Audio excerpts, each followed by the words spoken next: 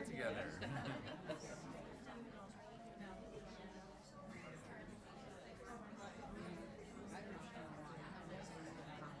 What's that?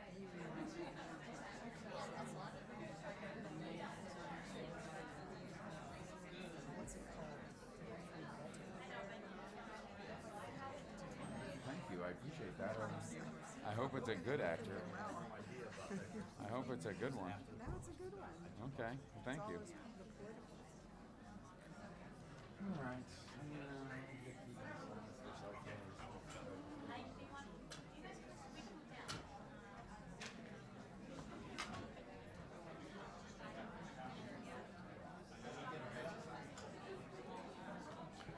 Ladies and gentlemen, uh, program will begin in a couple minutes. If you take this opportunity to silence your cell phones, that would be greatly appreciated.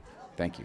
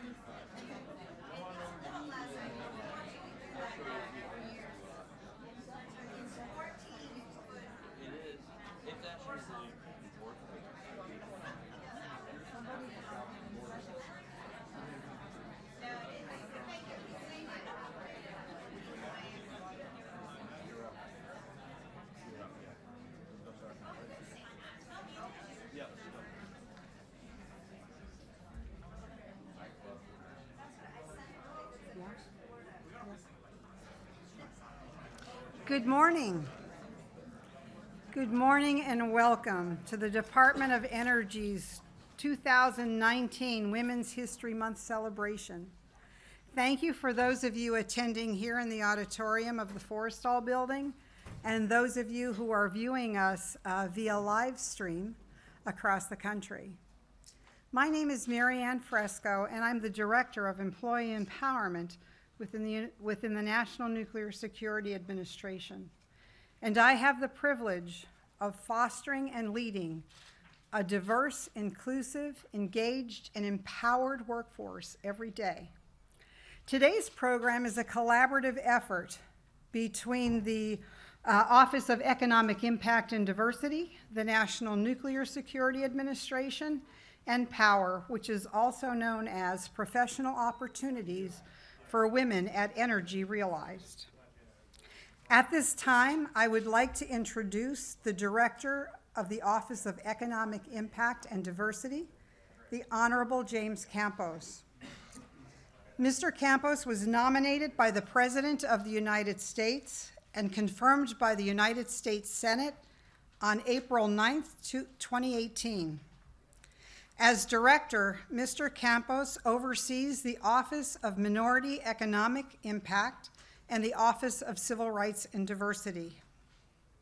He is tasked with helping to implement legislation and executive orders with an eye towards their effect on minorities in regards to education and business, as well as ensuring minorities are afforded an opportunity to fully participate in department programs.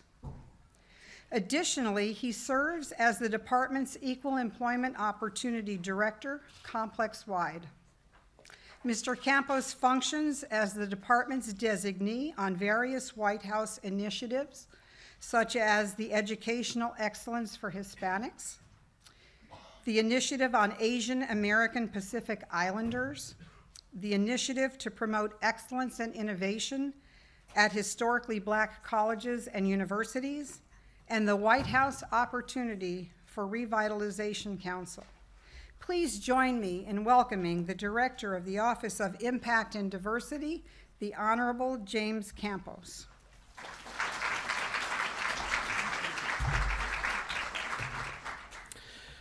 Thank you, Marianne, for the kind introduction. Good morning, everyone, and welcome to the Department. Department's Women's History Month celebration is indeed a special occasion for us all. Today, we celebrate women throughout U.S. history who dedicated their lives to achieving equal rights for all Americans, and how, and how they helped mold a society where women can pursue the highest levels of education, businesses, service to our military, service uh, in the highest offices of, of our nation, and achieving everything they set their minds to do.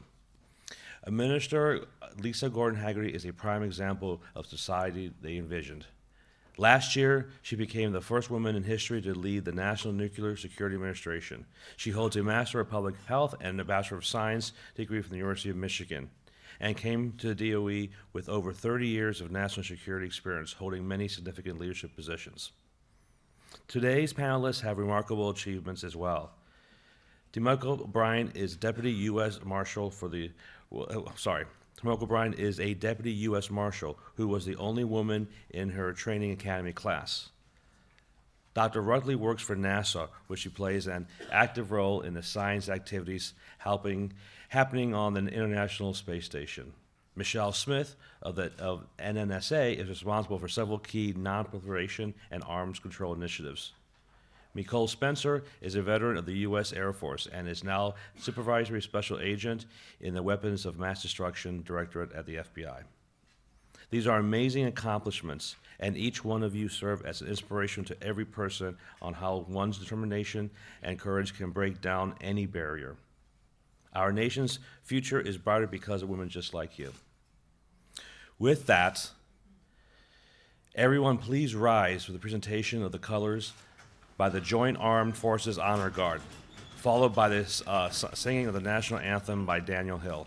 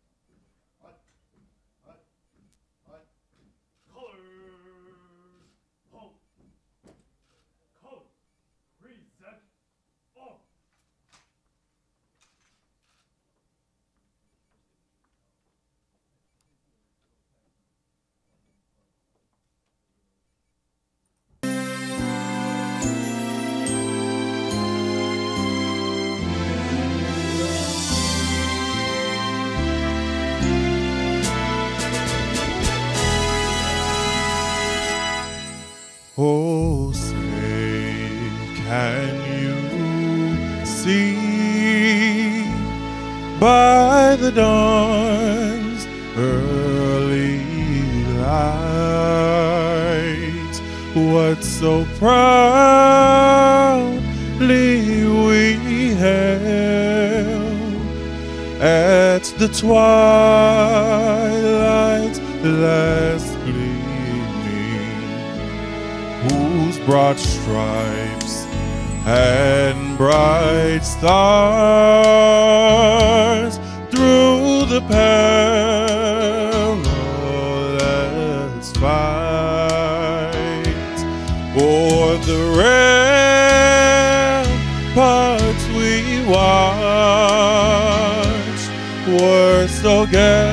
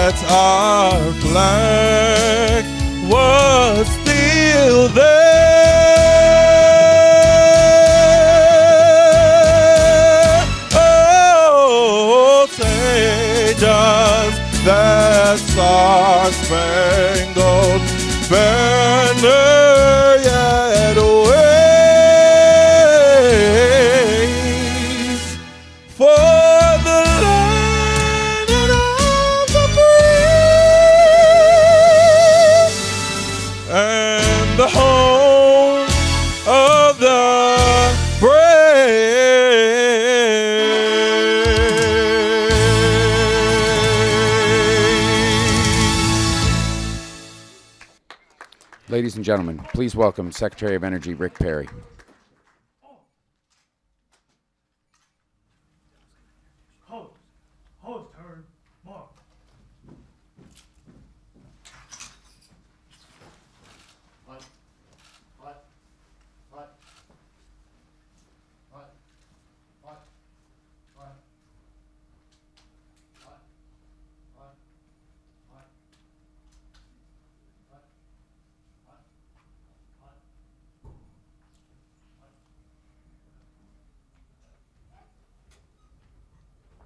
Ladies and gentlemen, please welcome Secretary of Energy Rick Perry.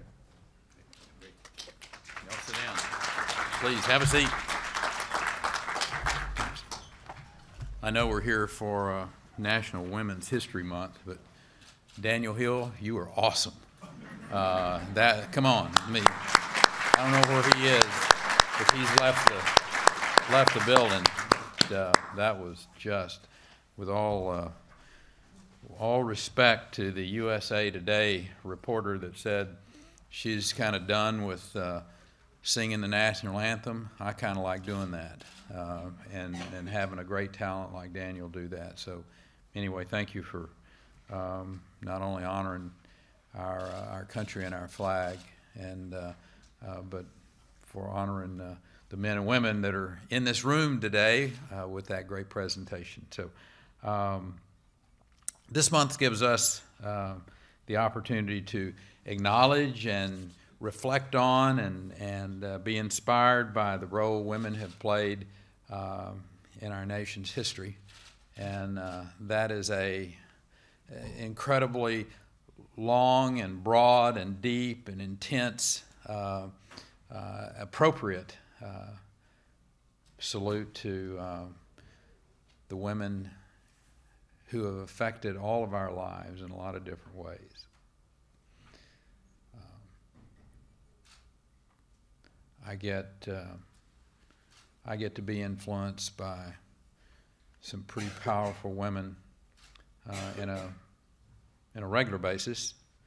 Um, some that don't have a lot of years of age on them, six and four year old granddaughters. Um, and um, an, amazing wife and a professional in her own right, uh, former First Lady of Texas. And so today will be a very inadequate uh, attempt to give all of those women personally in my life a, a shout out, but. Uh, you know, all too often, um, or I'm, I'm glad we're doing this because it, it gives us the opportunity to, uh, from time to time, um, women's achievements get overshadowed, they get overlooked. Um, but they have been instrumental in the fabric of this country, um, to the, the country's prosperity, to the country's security. Um, and as Secretary of Energy, I get to see it every day. Um, I'm proud to lead a department that uh, has such a strong history of uh, women innovators, women leaders. Um, one of my aha moments as the Secretary of Energy was when I got given the little book, The uh, Girls of Atomic City.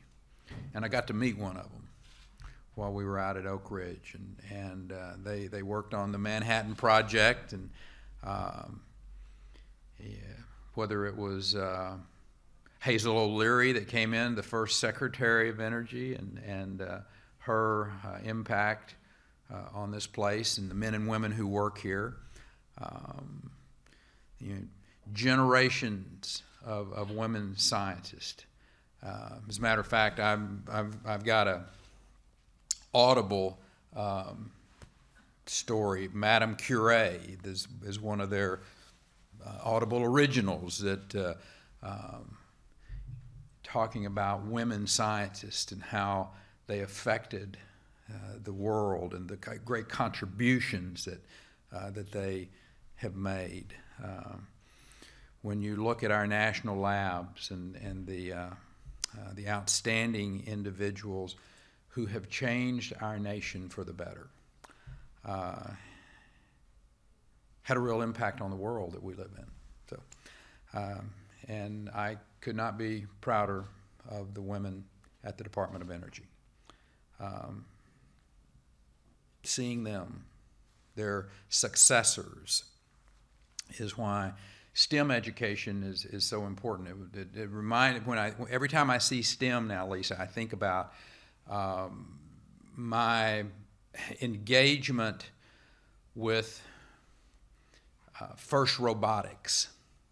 Uh, this, this is a global competition. Ike, we, I, I, I don't know whether you've actually been to these competitions or not, but they're, they're, they're fascinating. I, I got introduced to them as a, a relatively uh, new governor back in the early 2000s. They were having one of the regional competitions in Houston.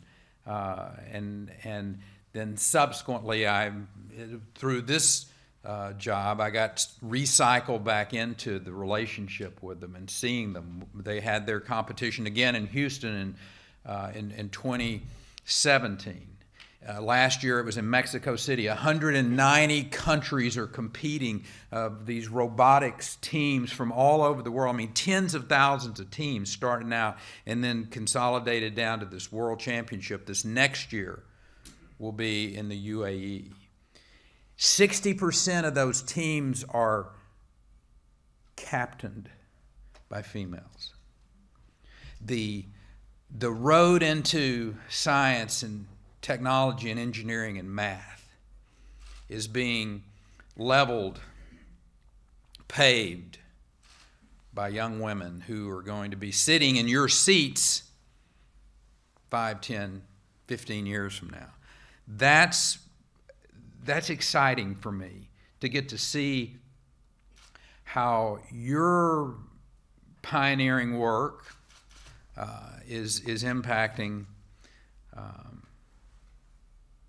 young people today.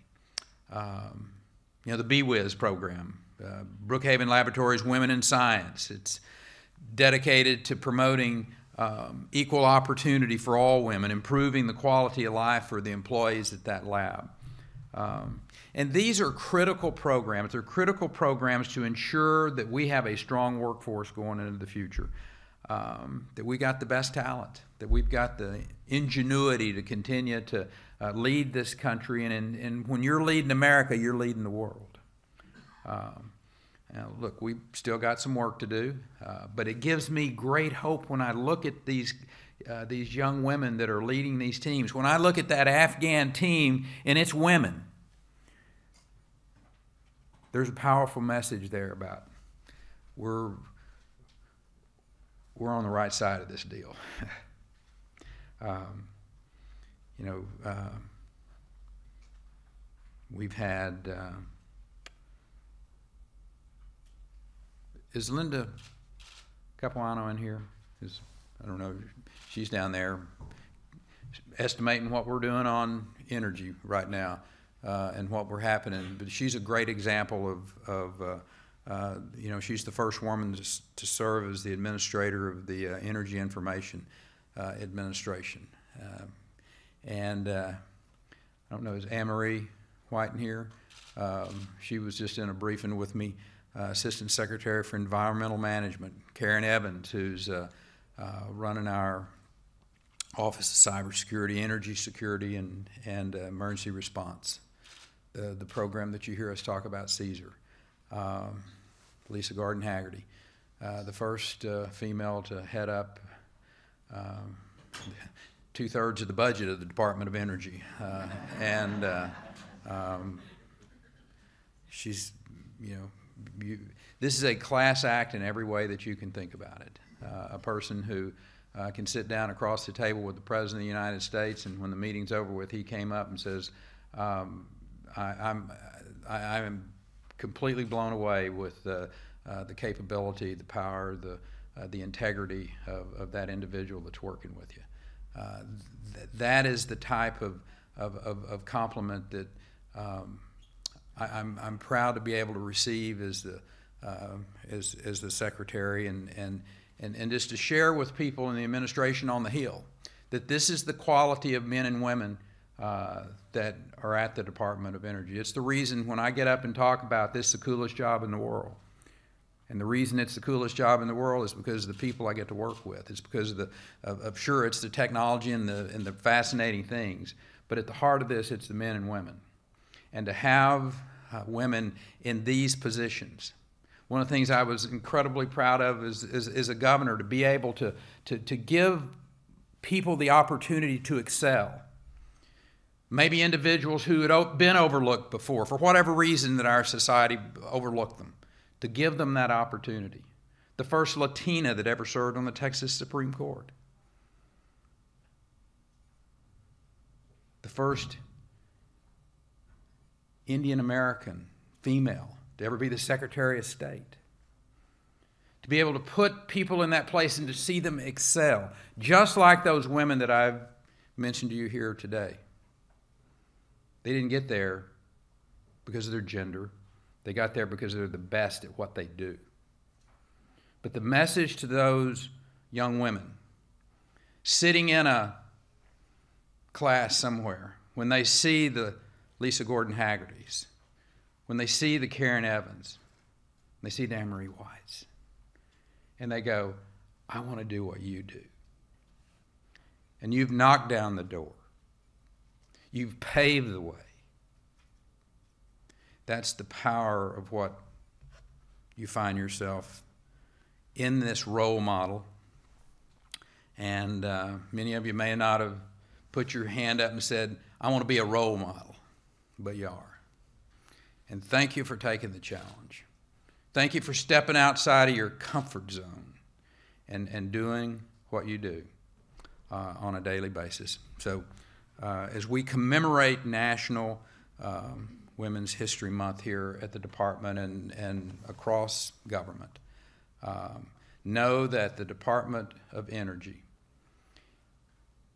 is at the forefront. We are literally at the tip of the spear of women making a massive difference in young people's lives and in the lives of people around the world because of the agency that you get to work with. So, with that, let me bring up one of those that I've uh, talked about a little bit today, and you get to see firsthand, if not some of you second, third, and fourth hand, uh, multiple times a day. Lisa Gordon Hagerty, the head of our. Uh, you're awesome. Great. Thank you. Yes, Thank you ma'am. very. Knock 'em dead. Well, thank you, Mr. Secretary, for that kind introduction and your continued support and confidence in me to lead the fine men and women throughout our nuclear security enterprise. I am truly blessed every single day by this honor and privilege. I would also like to thank Mr. Campos for the opportunity to, to, to deliver the keynote address this morning and to share with you some personal thoughts with our colleagues throughout DOE and highlighting the contributions of some of the finest women representing our great nation. I look forward also to hearing from the panel of many competent and qualified female leadership from our U.S. government. Thanks for joining us this morning. Good morning, everyone. When I was offered this very special opportunity to speak at this event, I accepted without hesitation. Okay, that was easy. Now, the difficult part. What can I say that might resonate with some of the smartest, most capable colleagues with whom I've ever had an opportunity to work? So let me start with the basics nuclear terrorism, military application, shale gas, commercial nuclear power generation, high performance computing, nuclear propulsion, CESER. You know, topics that most of the public think about at least a couple times a day. Well, they may not, but we certainly do. And that's because we are presented every day with the opportunity to work beside the best and the brightest on some of the most cutting edge and exciting portfolios ever imagined. As we celebrate visionary women during the month of March, we need not be reminded that women have been innovating in the fields of science and technology, in philosophy and education since the beginning of time, even though we may not have necessarily been recognized for so many crucial contributions as we are today. According to Pew Research, however, women now make up more, a more significant portion of U.S. leadership and national security positions than ever before, from the private sector to right here at DOE and NNSA. And I would also like to tick off a couple of names that might be familiar with you, although the secretary did seem to steal my thunder. The Honorable Ann White, the Honorable Karen Evans, NNSA Associate Administrator Nora Khalil, Savannah River Field Office Manager Nicole Nelson Jean, Teresa Robbins from the NNSA production site. Just a few shining examples of skilled, strong, visionary leaders who just happen to be women and with whom I am proud to serve. I am pleased to report that overall women make up more than 30%, 36% of the workforce here at DOE, and at NNSA, it's nearly 42.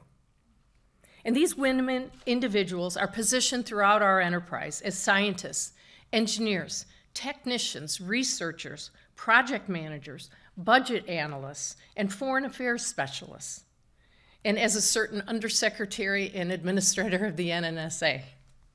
The list goes on.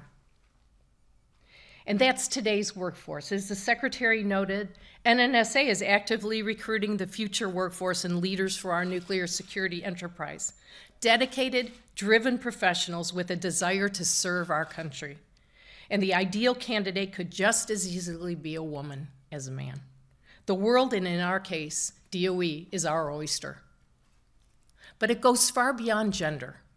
We celebrate diversity throughout our workforce. One's race, one's denomination, age, all bring different perspectives, different experiences, and different ideas to solve any challenge posed to us. And that is a good thing. All those diverse traits lead back to the person, their capabilities, competencies, their desire to be among the best our nation has to offer in support of our national, economic, energy, and global security. Now, on to a few examples and acknowledgments of the female trailblazers who came before us and are paving the way to make our workplace more inviting. Long before there was a DOE, there were women strengthening our, our nation through nuclear security. The first head of the Atomic Energy Commission chairman was a chairwoman, Dixie Lee Ray. If you ever have had a chance to speak with her, or excuse me, hear about her, uh, you really need to take a look at her. She's really been one of the icons, I think, throughout the Atomic Energy Commission. She went on to be the governor of the state of Washington. Has anyone ever heard of Betty Carroll? She was the first female mechanical engineer at Sandia National Laboratories in California. She was hired in 1959 and worked alongside 350 male peers to keep our nation safe. Nuclear physicist Jane Hamilton Hall worked at Los Alamos National Laboratory beside her husband. And I'm happy to say that in her 1946 performance review stated she was not of secondary importance on that project. Wow. In fact, she went on to become an assistant director at Los Alamos, so good for her. And I'll also mention a common favorite, and the secretary had alluded to them as well the Calutron girls. These young women applied for positions not knowing what they were working on because it was so highly classified. But it was just important and vital to the war effort at Y 12 in Oak Ridge, Tennessee. And they did their jobs well. Although sometimes it often engenders a giggle, the women were widely acknowledged to be more effective than the male scientists in keeping the equipment operating. The men were constantly fiddling with the equipment dials, thereby negatively affecting operations, and the ladies returned the system to steady state conditions. And on a personal note related to the Calutron girls, I had the distinct pleasure of meeting one of these women this spring at Y12. Ruth Huddleston was just 18 when she took a job at the Secret City in Oak Ridge, Tennessee. She's now 90 plus years old and shared several stories, one of which stands out in my mind. Mrs. Huddleston's family never knew what she did until one day her, grand, her granddaughter was working on a school project. She said, Oh, that's where I worked during World War II. To which her family replied, We never knew that. Why didn't you ever tell us? Mrs. Huddleston plainly stated, Because they told us not to. Now that's good operational security. These women are inspirations that we can look back on anytime we need a little encouragement and from whom we can inspire others. I encourage you to think about and reflect upon your own stories from past experiences and begin developing some of your own stories that you might share with other women to give them additional inspiration. I was also asked to mention some personal thoughts about women who have given me hope and guidance, and that's a very easy one for me. My personal inspiration is my mom.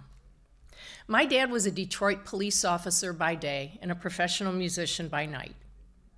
After they were married, although my mom worked, she decided to stay home and raise six kids before work, returning to the workforce. She became a top selling realtor for more than 20 years and then pursued the dream and became a jeweler. She is the epitome of bringing home the bacon and frying it up in the pan. And with eight mouths to feed, there's a lot of bacon to, that needs to be fried. There's also there's nothing my mom can't do. I've looked to her my whole life as my role model. She's 93 and going strong, and she's on her third computer as well. Just yesterday, she re- returned home to her home state of Ohio after spending a week with two of my three sisters on the warm and sunny beaches of Mexico. I've also been fortunate enough to have had female and male mentors throughout my career. And I've had the opportunity to be a mentor. An employee once asked me if I would mentor his daughter, who was a high school student at the time. She worked in our office every summer throughout college and ultimately became a senior leader at the CIA. It's a humbling experience to think I may have played a small role or part in that person's life. I encourage you all to be mentors. Seek out someone, a neighbor, a niece, and find out what their plans are, what they might be worrying about, and how you might be able to encourage them and help them work through it. Aim them to inspire high and apply for a job at the NNSA. Do the same with your colleagues, both female and male. Take time to listen and to talk, and seek their advice in kind. Everyone has a story and experience to share. You may have seen that next month, uh, on April 25th, it's Take Your Daughters and Sons to Work Day. I encourage all parents, and especially the moms out there, to consider bringing your children with you that day. It's so important for young people to see how many ways their parents, their relatives, or their neighbors are contributing to the betterment of our nation. Every woman and man of the DOE and NNSA are shining examples of our mission, and they should be part of that perhaps in the future as well. I hope I've established a pattern here, even though some might focus exclusively on gender. I truly believe it's about qualifications, merits, and capabilities. It's about who is the most effective in any particular role. It's that person who is disciplined and driven enough to get the job done. And I am not at all surprised when those best qualified are women. I would be remiss if I did not touch on how DOE and its predecessor agencies, from the Atomic Energy Commission onward, have been at the heart of the 20th and 21st century peace, which is a theme of this event.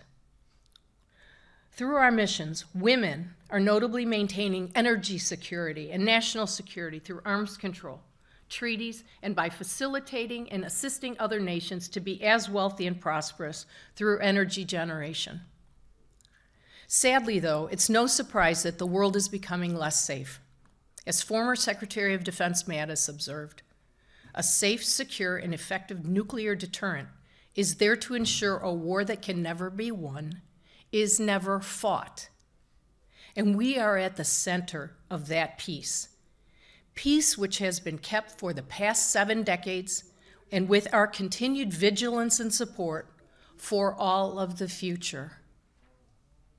We live in the greatest nation our world has ever known, and in a time and place where if you can dream it, you can live it. So many women before us have laid the foundation for the opportunities ahead. It is now our turn to continue to build upon that foundation and not waste their blood, sweat, and tears. Let's build that second story. I want to leave you with an idea for your consideration. Let's not celebrate Women's Month in March.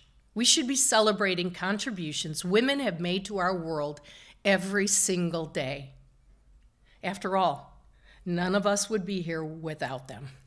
Thank you.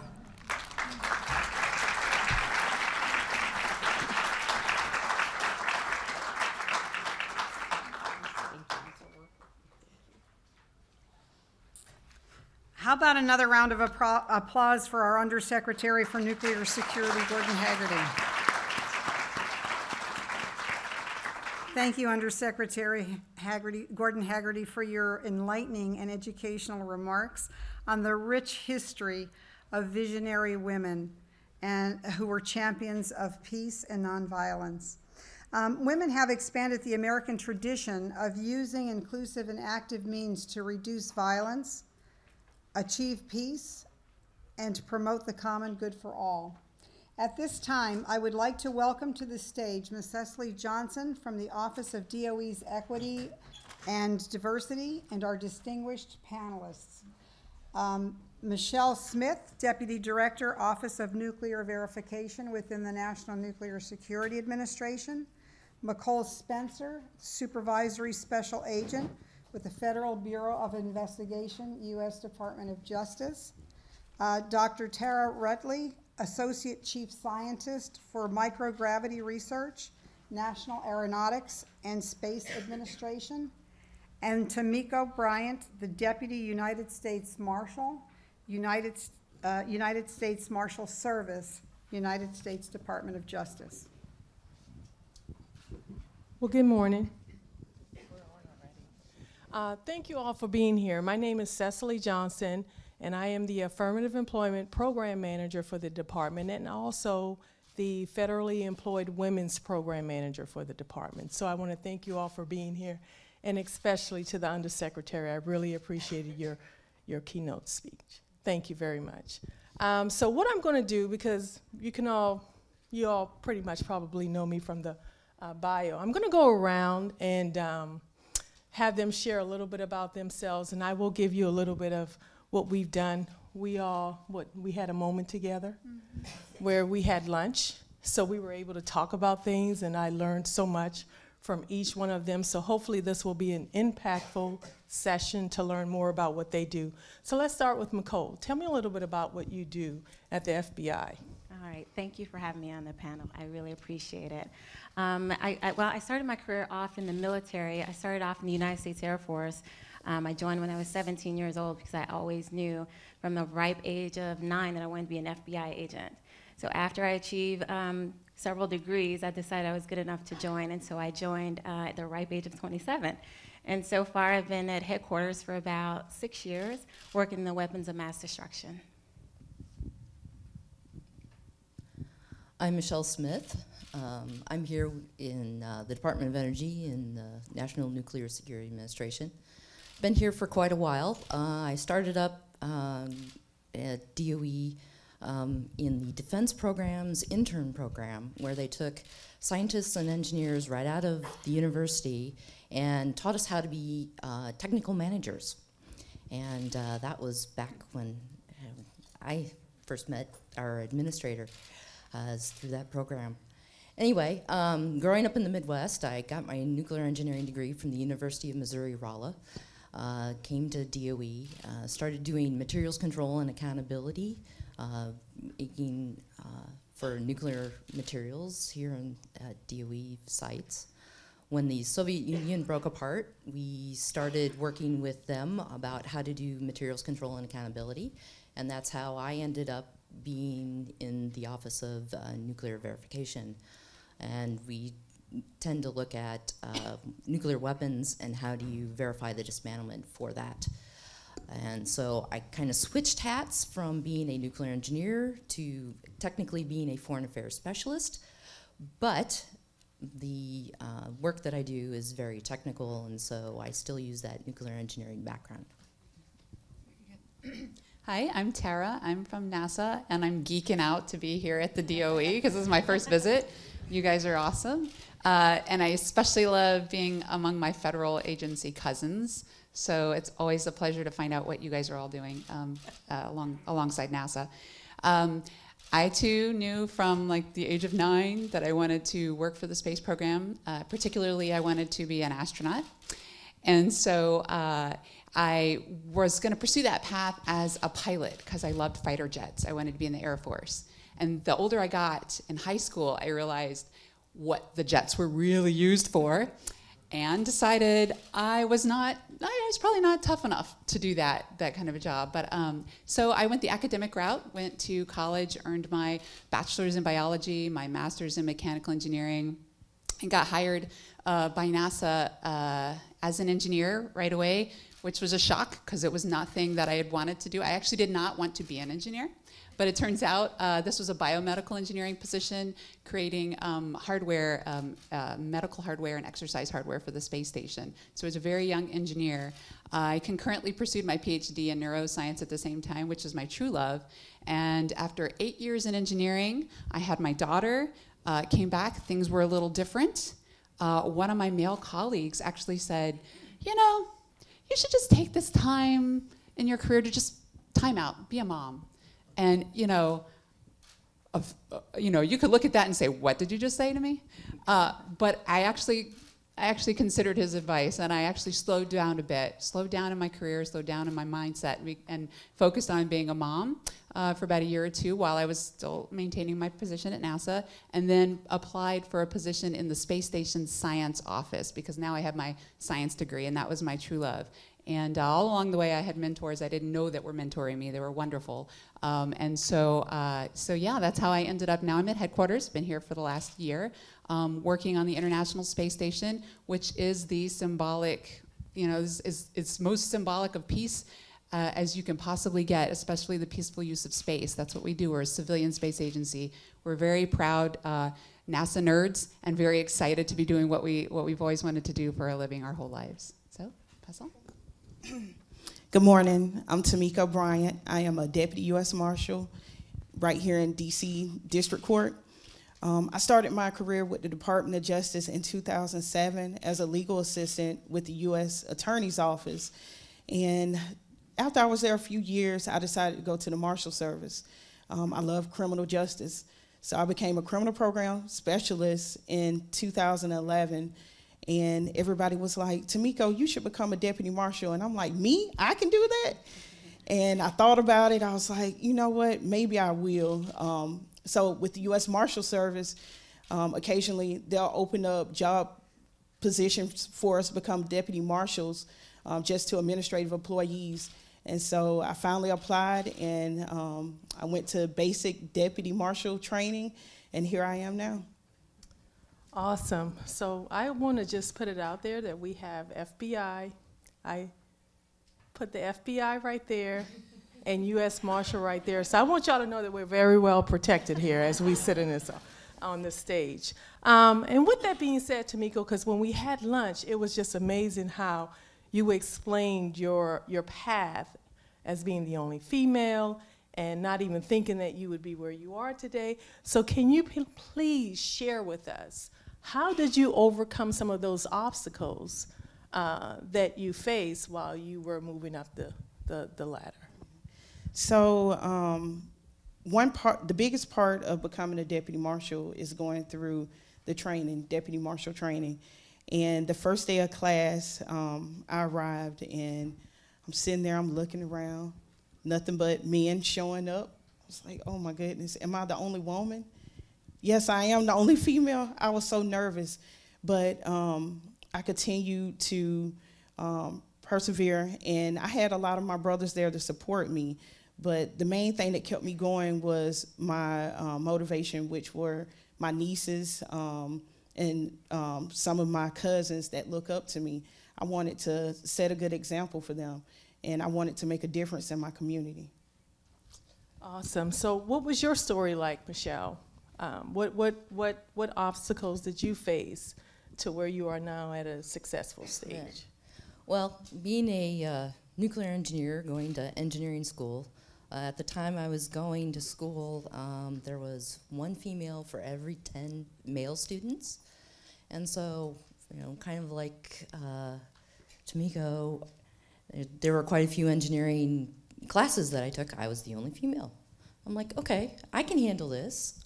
I got in. I was on the curator's scholarship. I had an Air Force ROTC scholarship. I'm like, I can do this. Um, my mother, she she was my mentor. She wanted to be an engineer and couldn't because her father wouldn't allow her to do that. She became a teacher, and so she was behind me. You know, whatever you want to do, you can go do it. Um, so I've always had a really good support system and people cheering me on, telling me, you know, you're capable, you can do it. It's about perseverance, you know, continuing to do and know that you have the ability to do something, uh, even if you get knocked down. Um, some people know this, not a lot of people do, but when I was in uh, university, I flunked out of school. I flunked out of Rolla, took a semester back at home, helped out with some family issues going on there, um, and reapplied, got back in, had switched my major from aerospace to nuclear engineering, and ended up on the dean's list by the time I graduated.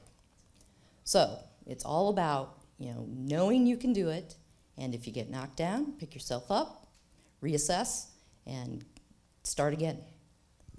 Absolutely, absolutely. So, Mecole, with the FBI, you know, because you shared some things with us during lunch of, you know, you never thought um, that, you know, where you are now. So, kind of, I don't want to, you know, share your story. I'll, I'll, I'll have you do that. I have to tell you, we met for lunch maybe two weeks ago, and I've been so busy I don't remember that story. but I will piggyback off what Tomeko said. Um, when I arrived at the FBI Academy, um, my class was very large. We had 58 students in my class and only eight women. So we naturally bonded together because we knew we were joining a male dominated environment. And so we formed this bond for 17 weeks. And that perseverance got me through saying, okay, I don't have to be better than the next man in the class. I just want to be better for me. So that was important for me. Okay. And Tyra? I honestly, I, I think I was just so driven on what I wanted to do. It never occurred to me when I was the only woman or if any obstacles were set in front of me. I just kept going. Um, and when I look back, I didn't, it didn't even dawn on me for the first two years that I, I worked at NASA that I was like one of only two women in the whole engineering department. What got me most was that I was so young and they were all so much senior. That was what was in my mind. Um, until someone asked me, what was it like being the only woman in engineering, or one of only two? And I'm like, what? Oh, you're right. I looked around. So for me, I'm one, I'm one of those women that you heard from the undersecretary. I just kept going because it's something I wanted to do. If I look back, I can probably tell you um, all the way back to middle school some of the, some of the obstacles that were, uh, were obviously in my place, but I didn't really realize it. Um, but um, I also believe that you know, my path has been my journey, and um, and I'm here today because you just, if you want something, you know what you want, and you want it bad enough, uh, you just keep going until it happens. So now we're going to dive a little deeper because we have some interesting careers up here. And so I need you to dive a little deeper because I'm going to go back to Mecole on the mass destruction and all that stuff that she shares. So, has there been a time in your career um, when your assertiveness was misconstrued because of your profession? One instance I can't really um, relate to at this point, but I'm sure in my profession work in weapons and mass destruction, I'm on the countermeasures operations side of the house, um, which again is male-dominated environment. Um, the decisions that I have to make going forward um, when we go to different countries, like uh, last February I was in Morocco, and making decisions to go to that country and figure out what they're doing on their drone program and how we can bring that back to the United States and implement it.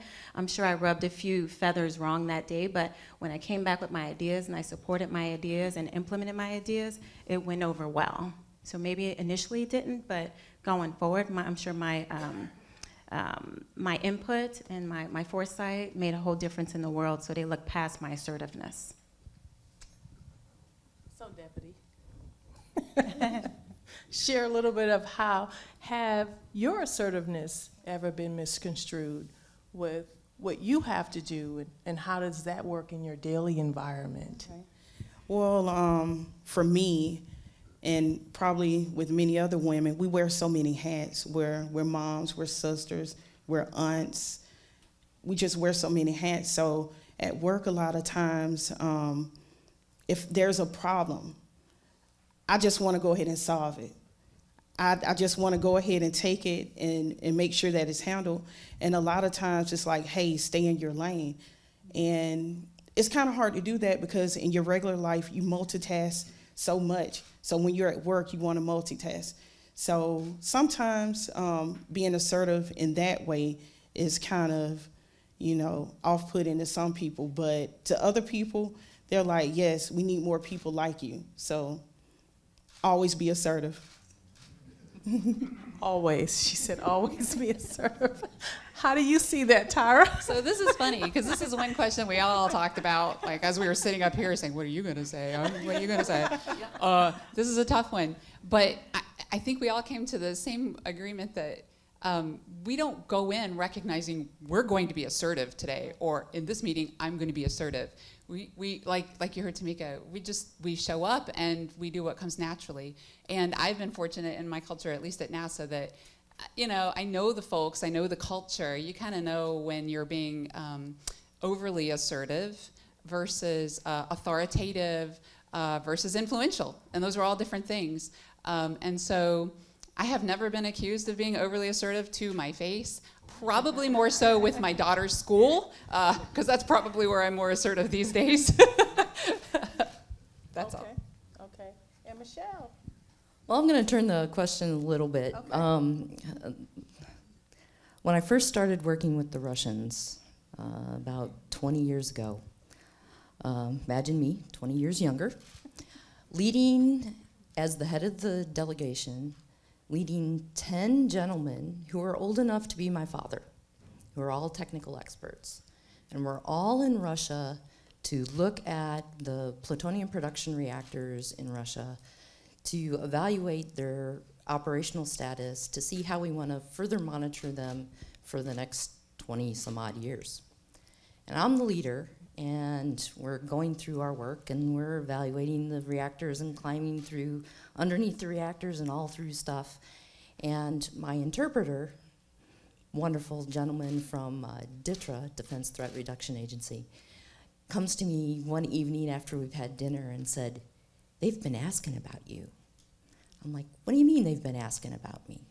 He's like, Well, they don't quite understand why you're here. and I'm like, okay, so what did you tell him? He's like, well, I told him, unlike the Russian culture, women in the United States get their jobs because they know what they're doing. They're not just there as a figurehead. And so, you know, it was like, okay, fine, you know, I'm used to this from engineering school, you know, not being taken seriously sometimes. I just kind of, you know, brushed it off and kept going. Well, then later in the trip, there was a lady reporter that came to do a piece on our visit. And one of her first questions to me was So, this is kind of a technical trip that you're on. Is it too tough for you? I'm like, okay, how do I answer this question? I was like, well, you know, I have a nuclear engineering degree. I studied for this. This is exactly the kind of thing that, you know, I know how to do. So, jump ahead 20 years, I'm still working with the same, a lot of the same Russians. They respect me. They know I've been to all their reactors, except for one, which we're going in June. And uh, so, you know, it's just one of those, you build those relationships, but it started out with, who the heck are you and why are you here? That's interesting. So, in closing, um, I just want to ask one um, important question um, about um, what is your opinion? Um, what would you say is the most important attribute one needs to possess to achieve success in your job, in your job, and so on? So, let's start with Michele. Well, that's an easy one. Um, my, my nephew, when he was in elementary school, no, actually, he was in preschool, he had to do a report. And they asked him, What was the book about? And he said, Perseverance. There you have it. And it's like, uh, you want to elaborate? You know, when you want, what, what else? It's about perseverance. And that truly is what it is. Um, you know, willing to continue to move forward and, and do your job to the best of your ability, and even willing to take on those jobs that others aren't necessarily willing to take on. But you do those, those not so fun jobs to the best of your ability as well. And you just keep, you keep moving on and being part of the team. Tara? I have to say collaboration, the spirit of collaboration. Um, keep an open mind with anyone you're collaborating with. Um, look for the common goals uh, and, and consider all angles and, and hear, really hear what someone else is saying and, and work to influence uh, collaboration. Tomeko? Um, boldness. it's very important to be bold. Um, in our career, um, you really have to be bold. Um, but in any endeavor that you do, I think it's very important to have that boldness so that you can go to the next level. A lot of times, fear will hold us back. So, how do you know what you're good at if you never try? So, always be bold.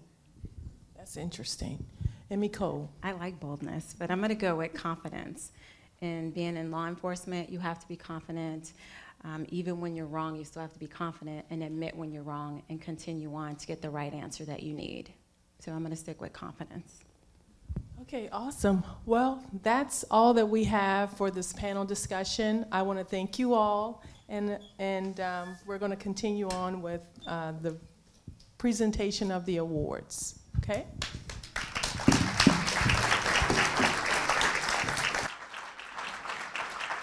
Well, thank you everyone for your participation. I'm Ann Augustyn. I'm the Principal Deputy Director in the Office of Economic Impact and Diversity. And it's wonderful to see so many of you here today.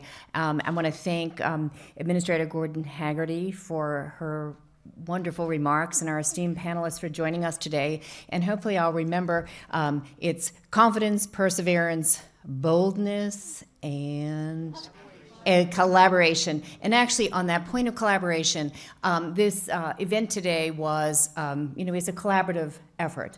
Um, I want to thank uh, Cecily Johnson from our Office of Economic Impact and Diversity um, for doing such a great job moderating the panel and for actually putting this together in collaboration with our uh, friends and partners from the National Nuclear Security Administration. Um, I want to especially point out Marianne Fresco, who's been very gracious and working with us every step of the way. I'd be remiss also if I didn't mention our other um, colleagues in the Office of Economic Impact and Diversity, um, not only in our Office of um, Equity and Diversity, uh, but our entire organization that does work collaboratively on a day to day on all of our work product, but most especially in these special events, which take an enormous amount of time. I should recognize uh, Sharon Wyatt, who was here at 5:30 this morning, and is here every morning at 5:30. But they were running around doing some last-minute um, changes, and, and Sharon is our acting associate deputy uh, director of uh, equity and diversity. So thank you to everybody. We do have some small tokens of our appreciation, and I'll ask my boss, uh, Director Campos, if he would be gracious enough to come up so that we can make the presentation to the panelists and to Administrator Gordon Hagerty. Um, thank you.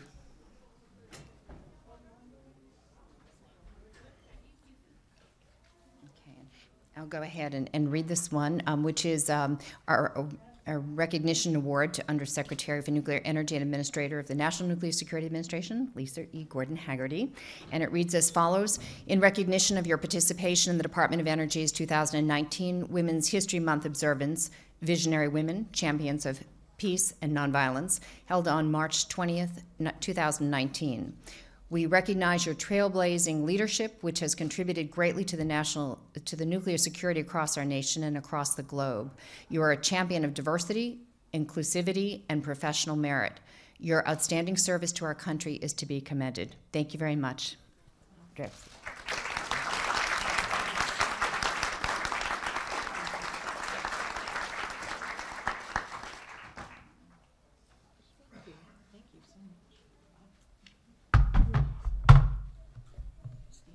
thank you very much.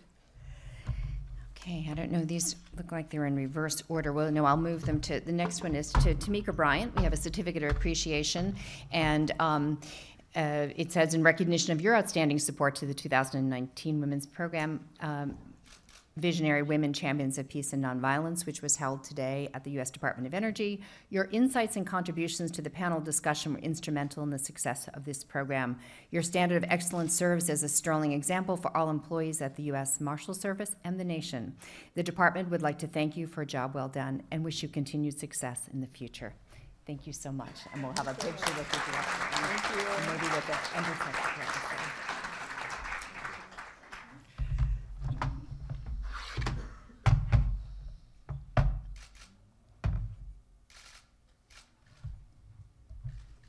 Okay, thank you very much. Um, And Mecole Spencer, if you'd be kind enough to come up from the FBI. And um, this one reads along the same lines, again with your insights and contributions to the, me thanking you for the insights and contributions to your panel discussions. It was very much instrumental to the success of the program. And we are saying here that your standard of excellence serves as a sterling example for the employees at the Federal Bureau of Investigation and the nation.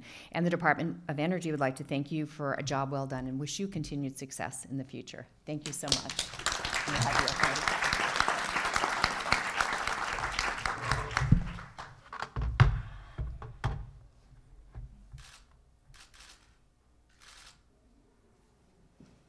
Thank you very much. And Michele Smith, after, oh, excuse me, so sorry.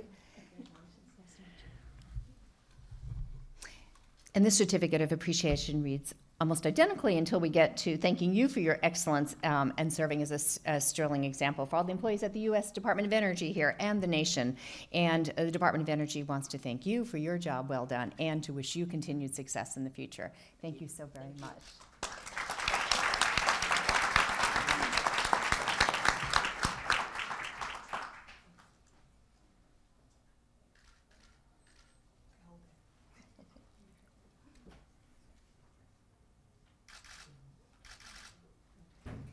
And finally, we have Dr. Tara Ruttley.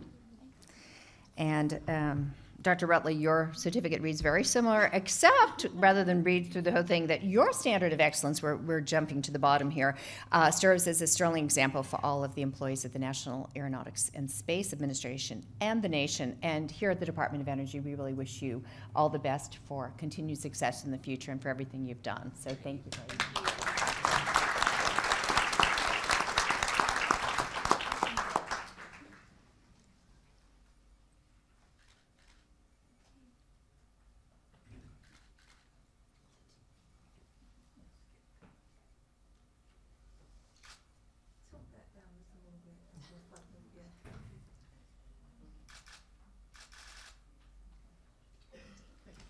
Well, we, we thank you all very much for your attendance today, and we wish you a good day.